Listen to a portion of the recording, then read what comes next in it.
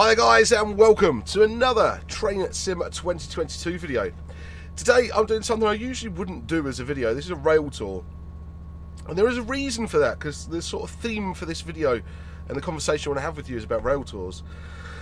This is the Welsh Marches Rail Tour which ran uh, beginning end of last month uh, from Stevenage up to Hereford is what I want to say.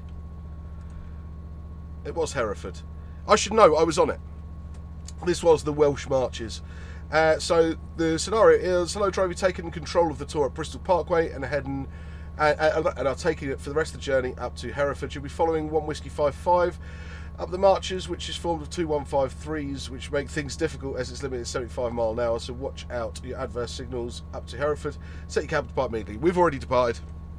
We're halfway through, so I'm not going to spoil the whole scenario for you. Uh, the scenario itself is available over at alanthomsonsim.com. Head over there and grab this if you want. The scenario is called 1 Zulu 50, the 0657 at Stevenage, Hereford, the Welsh Marches. Right, blow about the way. I want to know, and if you guys can put this in the comments for me, that'd be great. Have you done a rail tour before? And what class did you travel in? Did you travel in just standard? Did you do uh, first class? Did you do first class dining? And if you did, if you could put in the comments what class you were in and how you sort of did your food and drink, I would love to know that. Um, more of a market research thing than anything else, but if you could stick that in the comments for me, I'd love to know what it was. Or if you do these regularly, let me know what it is you look for in a rail tour. So, honestly, it was my first one. It was my first proper rail tour, and uh, I was very kindly invited on it by uh, Twisted Red Black from the, the Twitch streams uh, Matt, who's a good friend of mine as well. Um, and we were in First Dining. We were actually about here. I think we were here. My, I was I was in the window seat for this section, and then we swapped around for the next leg. The rake itself was the Riviera Trains rake. I think it was meant to be Mark Twos, and then it got swapped out sort of last minute. Not 100% sure. Uh, but this coach up at the end here, this guards van was actually one of the uh, generator ones. It's the only thing that's different in the rake, but it's the same loco and everything. So I was quite excited when I sort of thought about doing when Matt invited me to do this because I'd never done one. And I thought, well, what's it going to be like? Is it going to be like a vet? I'm going to say the word veg here, and people are going to go, "Don't call people vegetables." Um, I'm not calling people vegetables. It's platform veg. Um, it's a train spotter term a slightly derogatory one, but one that's used within the uh, the community quite regularly. And I don't mind using it because I'm not calling anybody else it, apart from normal able-bodied people that just like to vegetate at the edge of platforms and, and look at trains. Um, foamers, buffer sniffers, train spotters, you name it, there's names for them all. It's our own little in thing in it, I suppose. I thought it was going to be full of sort of train spotters, and I'm sure there are tours that are more set up towards the sort of enthusiast market, train enthusiast, rail fan for the nicer terms. Um, which I class myself in this category, so don't worry. Um, I thought it was going to be full of sort of uh, train enthusiast things like that. And whilst there was a good few on this service, um, this tour, they were probably the minority. This was, I think, more of a dining sort of uh, great way to see the country. Middle-aged, slightly older way to get around the country. Uh, we're going to now get hit by loads of reds, which is great. Just as I've started the video, I thought I'd skip this part. Um, so I was sort of apprehensive about what I was going to see and what it was going to be like. Was the food going to be good? Um, was the service going to be nice? Was the stock going to be clean? I had loads of questions. This this tour itself was op operated by UK Rail Tours, and I'll tell you now, I couldn't fault them. Uh, they were fantastic. Apart from a grumpy guard when we got on, but he, he quickly sorted himself out. it was more endearing than, than irritating. Uh, but it was it was a really, really, really, really, really, really nice day out. I'm so glad somebody's made a version of it in Train Simulator, to be honest with you. So it's nice to be able to drive it. I'm going to pick a few highlights from my sort of time on it, that I my experience of it, give you just a quick summary of it. I'm not going to do the whole scenario, um, and I'm not going to keep going on and on and on. This is more about finding out from you guys what you guys think of rail tours. One of the big things that, I, like I said, I was nervous about was the people we were going to end up on the train with. And when we first sat down, we didn't quite understand the seating arrangement because it's it's F and B, I think it is. It's like it's like nine F and, and B, and I'm like, that's not a real seat number. What's this? But it means forward or backwards. Um, and we'd got our seats completely wrong, and there was a a retired couple uh, that sat in front of us, and actually we were in their seats, but they were really accommodating. We sat down, and then we had another couple to our left. One was a retired train driver, and the the other lady, his his partner, I assume, still worked on the railways uh, at a station on the East Coast Main Line, and we probably couldn't have been sat with a nicer bunch of people. We were quite different in terms of where sort of backgrounds and things like that. But as the journey went on, we just ended up chatting. It was like you only go on holiday and you get holiday friends, Uh, like you when you go on holiday as kids and your parents got holiday friends. It was like that. You're all sort of stuck together for this eight hours. And even though we came from completely different walks of life, it was brilliant. Had a really nice time with them. Cracking sort of bit of banter between us, basically because the the lady sitting in front of us could not fathom in her head that that we sort of were there for the, for the trains and the the the scenery. So while they're all going, oh, there's lovely hills. There's me and Matt going, oh, look at that point rodding. Oh, look at the look at the signal wire. Look at the cabling. Look at all that. Oh, did you see that bridge when we come off there? We need to make sure we get that in. And they found this hilarious the whole way through. But of course, it led into a bit more than that because we kind of roughly knew where we were. They'd be like, oh, where are we now? Or what's that? And once the sniggering and everything had stopped, we were the we were the veg on the train. Do you know what I mean? But once the sniggering had sort of stopped and everything like that, it became. I think they became interested in what we were talking about.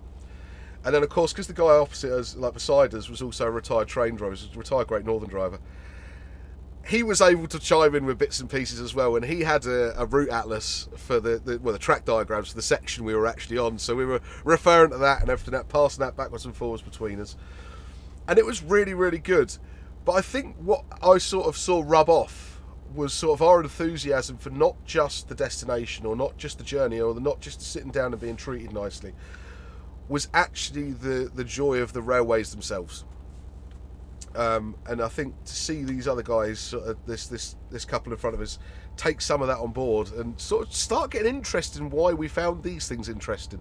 And then we, when we explained it towards the end of the trip, this couple were pointing things out to me and Matt, and I, I just thought it was fantastic. It was a really nice way to share a hobby that you wouldn't usually do, and it, it was it was really really exciting, really really good. But getting back to the actual service and stuff you get on board, you, are treated like a king um, in First Dining. It was fantastic. A really, really nice treat day out. It is not something everybody can afford. Let me stress that very, very clearly. It is not something that anybody would just be able to afford. First class dining option for this service was £239. Um, it's a sort of, I wouldn't say it was a once in a lifetime thing um, I know it might be for some, but it would probably be. I mean, I've got kids. I've got holiday. I could, I could get. Do you know what I mean? I could get weekend away with the kids for that. So it's uh, definitely a once in a blue moon thing. But it was Matt's birthday and it was a bit of a treat, so it was uh, worthwhile. I, I, sort of, I sort of ended up calling it on stream a couple of days ago.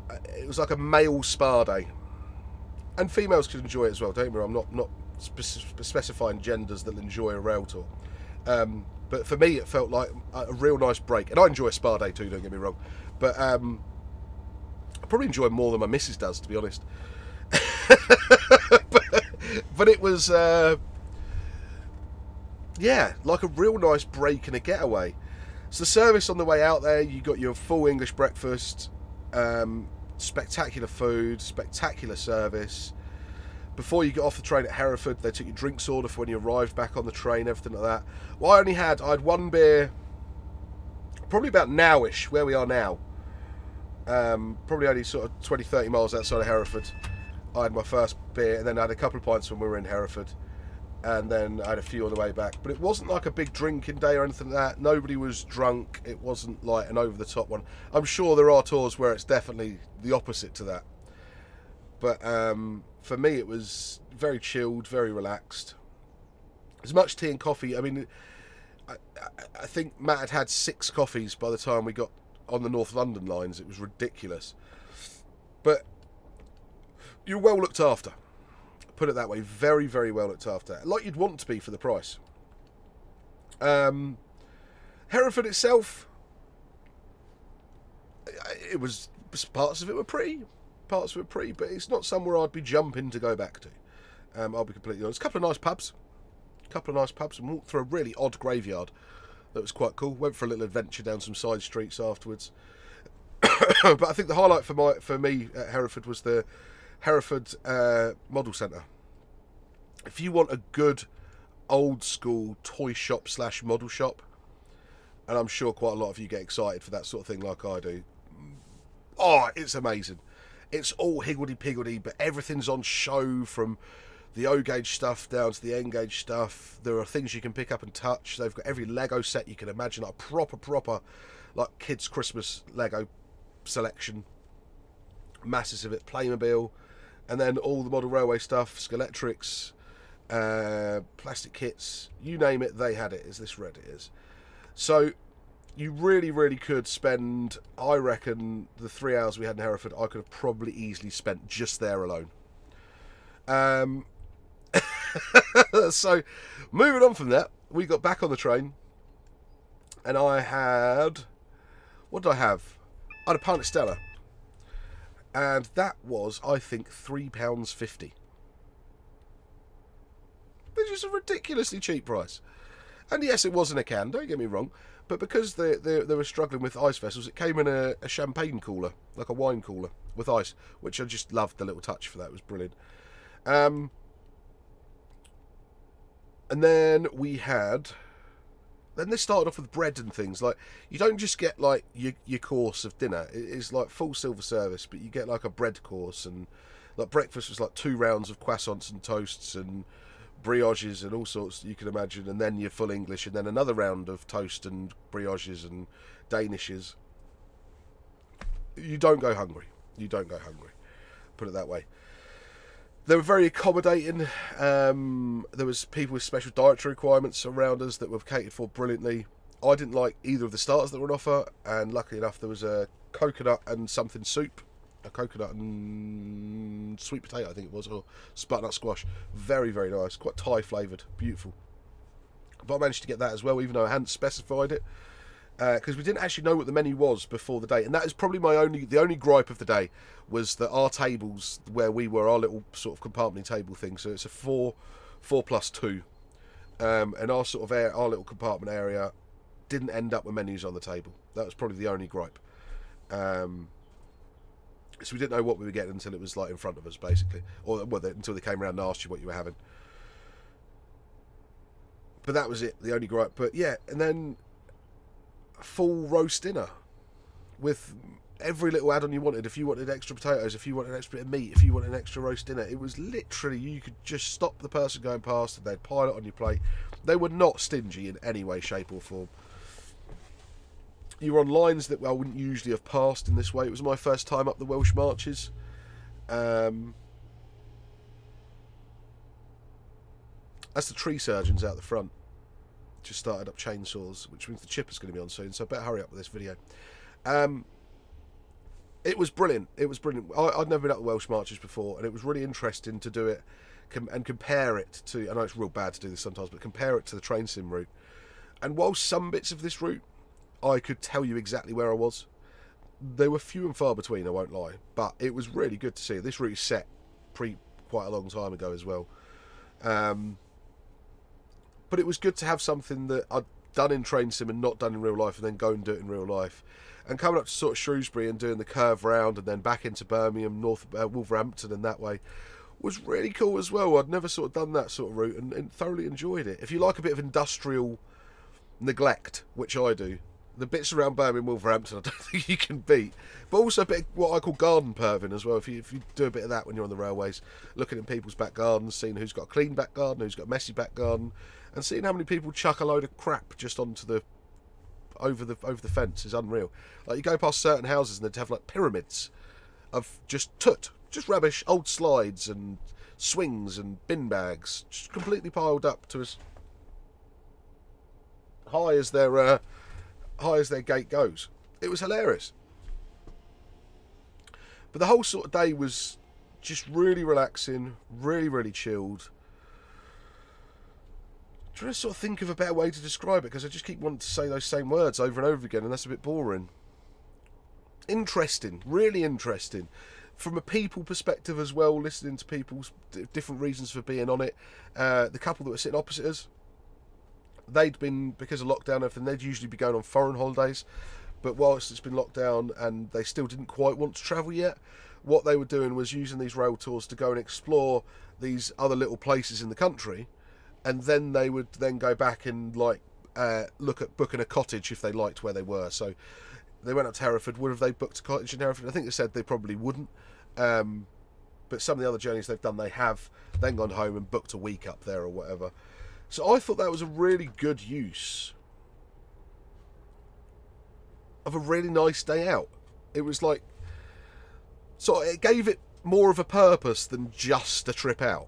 And it made it more of a ceremony having the dinner and the nice lunch and the treated like royalty for a little bit. It, was a really clever way to do things in my eyes. Do you know what I mean? They were retired, they had the money, no skin off my nose. They were enjoying what they wanted to do and what they were doing and how they were doing it.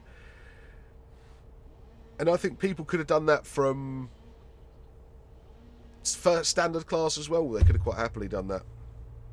But it was just the whole experience is cool. The other experience that I had was Mark Ones on the main line. I, I very, very, very, very, very, very, very have a vague memory of Mark Ones in the very early nineties when I was maybe six or seven.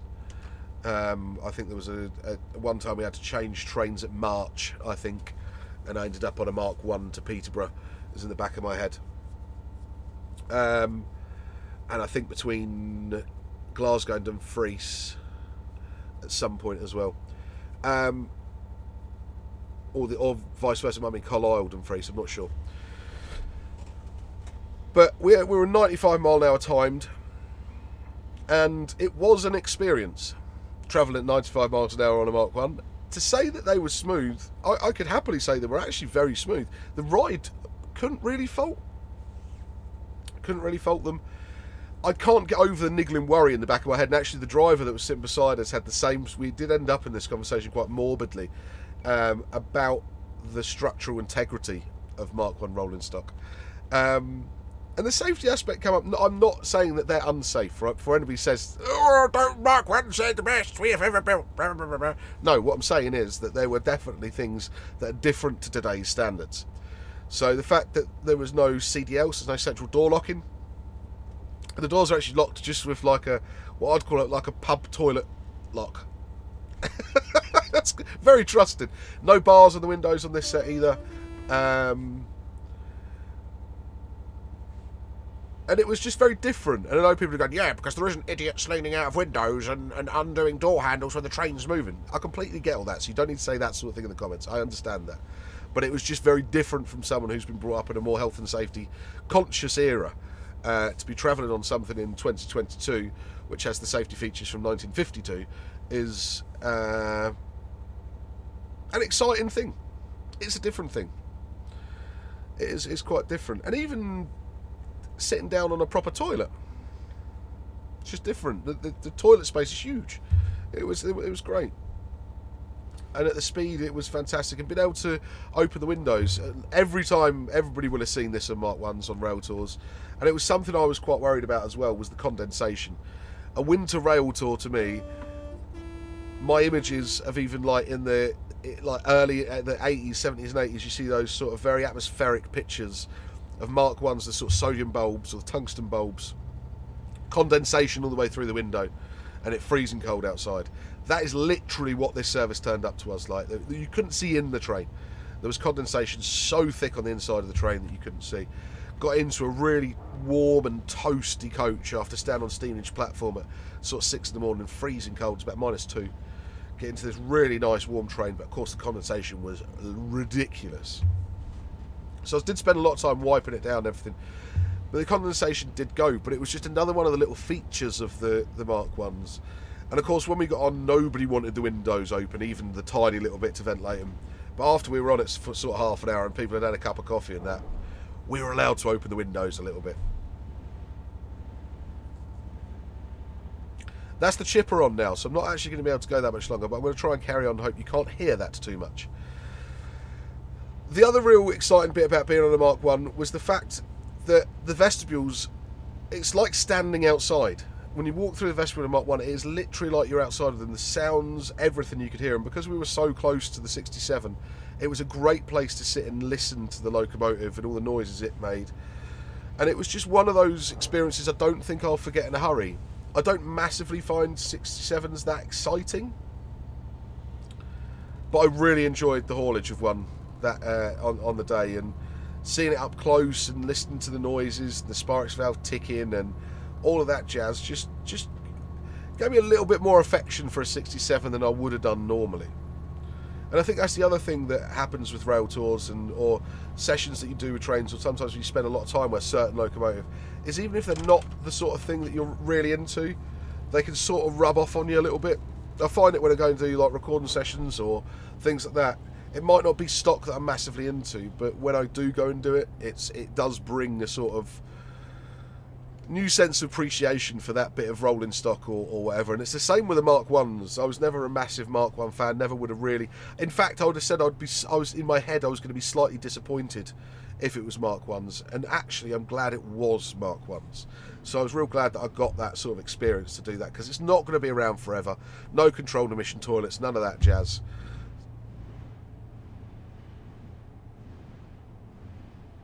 It sounded better than that as well.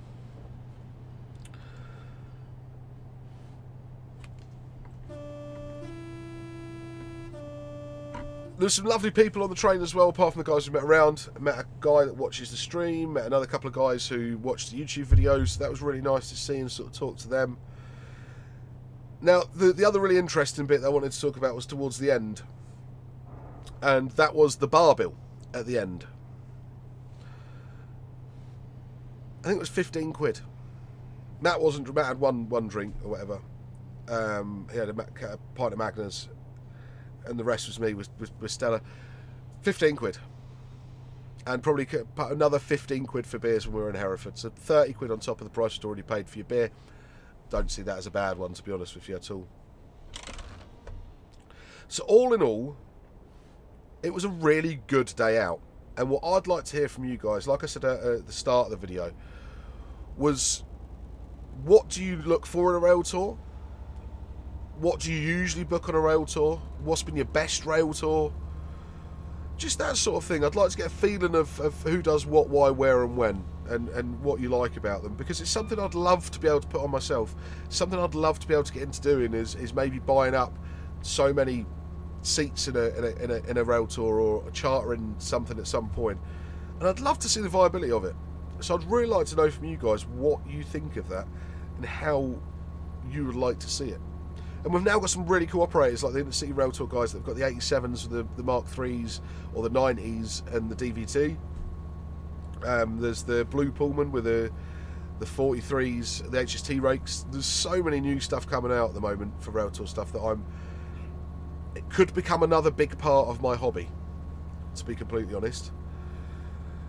So, what have you done? How did you like it? what were the best bits, what were the worst bits, what was the cost, what did you look for in a rail tour? Do you look at cost versus mileage, that sort of thing? Because I mean, this tour I think was it was about it wasn't even that high mileage. I can't remember off the top of my head. I want to say it was about 400 miles, but I don't even think it was that. Um, I think it was actually a lot less than that. But in my head, I had it. It was going to be around that, and it did like a speech bubble from Stevenage. It was quite cool. The route. Um, routing wise, we went Stevenage, uh, North London Lines, Great Western Main Line, Severn Tunnel, um, Welsh Marches, Wolverhampton, Shrewsbury, Wolverhampton, avoided New Street, uh, came back in at, was it Coventry? I think it was Coventry came back in it, or International. I think it was International we came back in it, and then down the West Coast Main Line. Um, and then back North London lines up the East Coast Main Line to Stevenage. So it was quite a cool little, quite a cool little route, really. Like and comparing some of those routes to train sim was hilarious. North London lines, as much as it's got some really good bits, it is really, really different. There's so much that's been missed out on North London lines. But again, it's an older route, so there's stuff that I think could be updated here and there. So yeah, for a lad's day out, or a couple of you going out with a, a case of beer and sitting in standard, I would have a whale of a time. I'd probably have just as much fun doing that as I would going first and being treated like a king all day. Um, it would be it would be the same sort of experience. A Tesco's meal deal and a case of beer. Um, but the idea of being in, in the first bit and, and, that that sort of I don't really like being waited on hand and foot. I find it quite intrusive. Um, I always feel like I really shouldn't be there. But on this tour, it was I was made to feel very comfortable, um, and I really enjoyed it so yeah, let me know your thoughts, guys. I'll leave you with this, and you can go and try this scenario out for yourselves. Again, available over at AlanThomsonSim.com. Please feel free to like, share, and subscribe. Head over to AlanThomsonSim.com for all your latest and greatest train sim needs. Join us on Twitch at the moment. We're doing Monday and Thursday nights. So if you're around this evening when this video goes out, if it goes out today, I hope it does. Um, we'll be live from 7 pm over on Twitch. Links in the description below. Once again, guys, thanks ever so much. I'll catch you next time.